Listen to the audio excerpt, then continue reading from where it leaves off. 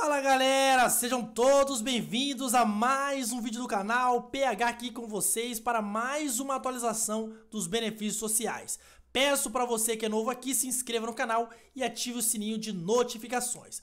Pois bem, quero tirar uma dúvida que vem sendo muito comentada, muito perguntada para mim, inclusive no meu Instagram. Se você não segue ainda, já segue lá, phsouzat, que é por lá no direct que eu respondo as dúvidas mais específicas de vocês. Pois bem, Auxílio permanente de 1.200 já foi aprovado? Já tem inscrição? Como se cadastrar?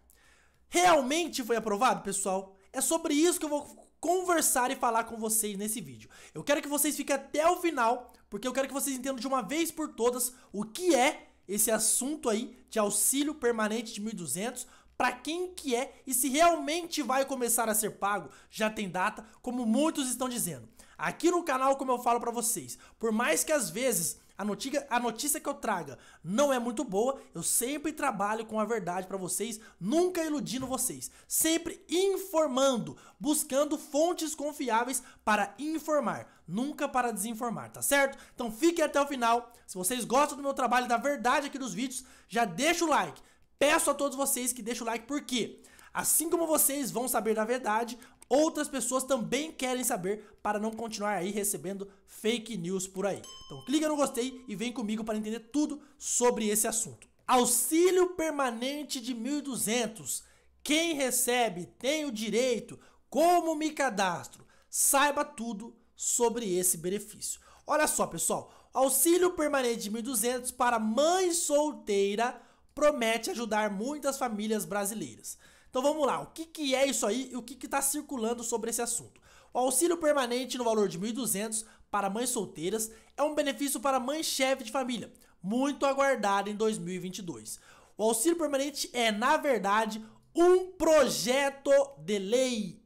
A proposta é que essas mulheres recebam o valor do auxílio emergencial em dobro, 1.200, só que sem um fim, um auxílio permanente. Ou seja, o governo pagaria para mulheres chefes de família R$ 1.200 de forma permanente. Só por aqui, pessoal, você já sabe. Realmente, você acha que o governo vai fazer isso? O governo tem condições de fazer isso? O governo tem direito para isso? Vamos ver então aqui na notícia abaixo. Fica até o final e já deixa o seu like. Olha só. Quem recebe auxílio permanente? Quem tem direito? Pelo texto, qual o texto? Do projeto de lei para receber o auxílio permanente de 1.200, a mulher deve cumprir uma série de requisitos, como ter mais de 18 anos, não ter emprego formal ativo, não ser titular de benefício previdenciário ou assistencial e ter ainda renda familiar per capita de até meio salário mínimo ou renda familiar mensal total de até 3 salários mínimos. Como me cadastro no auxílio permanente? Já tem cadastro para esse projeto de lei? Ainda não se sabe se haverá cadastro no auxílio permanente. É claro que não sabe, pessoal, porque ainda não foi nada aprovado. No entanto, sendo um programa federal, deve seguir o padrão de outros benefícios mensais, como o auxílio emergencial, que já finalizou, o Auxílio Brasil e Auxílio Gás. Assim, o auxílio permanente de 1.200 deve ser pago às mães solteiras chefes de famílias que são inscritas nos benefícios, consequentemente, cadastro único será o principal fator para a seleção. Pois bem, Auxílio permanente vai ser pago todo mês? O projeto de lei que pede que isso seja realmente aprovado institui um auxílio permanente de 1.200 mensais, ou seja, todos os meses as mães chefes de família iriam receber esse benefício. A Comissão dos Direitos da Mulher aprovou o novo benefício em novembro de 2021. Aprovou na Comissão dos Direitos da Mulher não foi aprovado definitivamente para as demais comissões e até mesmo lá em votação no Congresso. E aí, se isso vier a ser aprovado, como será o pagamento? Conforme o projeto, o auxílio será operacionalizado e pago por bancos públicos e federais.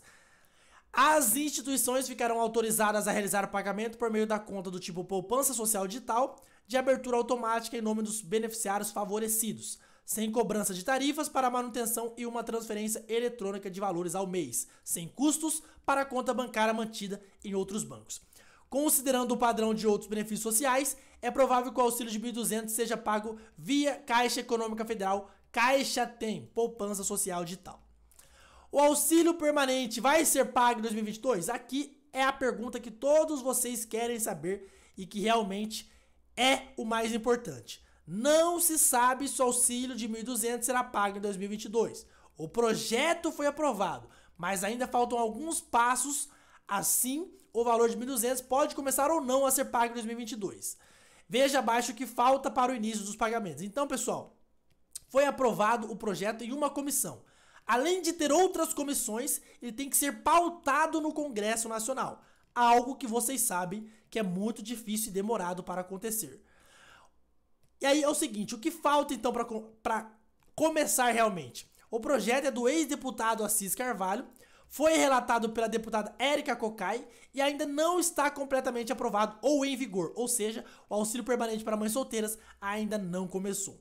O que falta para o auxílio permanente? O projeto de lei já foi aprovado na Comissão de Direitos da Mulher, mas ainda precisa passar por outras comissões da Câmara antes de ir ao plenário e depois de ser sancionado pelo presidente da República. Portanto, ainda não há uma data oficial para iniciar os pagamentos, nem há a certeza da aprovação do projeto. Assim, o projeto tramita em caráter conclusivo, ou seja, ainda não está valendo. Depois disso, ele será analisado pelas comissões de segura... Seguridade Social e Família, Finanças e Tributação e Constituição, Justiça e Cidadania. O texto prevê regulamentação da lei pelo Poder Executivo em até três meses da publicação da norma, caso aprovado. Ou seja, pessoal, para resumir tudo isso para vocês, é um projeto bonito, bem elaborado? Sim, ninguém disse o contrário disso. Mas como vocês puderam ver, ele não foi aprovado. Se ele passar nas próximas comissões, ele ainda tem que ser levado para votação no plenário. Se vier a ser aprovado na comissão do plenário, o presidente da República pode ou não sancionar. Então, pessoal, vamos cair na realidade. Isso é um projeto muito bom, mas muito difícil de ser aprovado em tudo o que precisa para ser aprovado, nas comissões, plenário e de ser sancionado pelo presidente. Então, não caiam nessas informações que já foi aprovado, que vai começar em março. Não tem nada disso. É um projeto bom, mas é apenas um projeto. Não tem nada de aprovado, não tem data e não tem previsão. Compartilhe esse vídeo para que mais pessoas se informem sobre esse benefício, se inscreva no canal e ative o sininho de notificações para se manter informado sobre os assuntos que eu trago todos os dias para vocês, com muita informação, veracidade e, acima de tudo,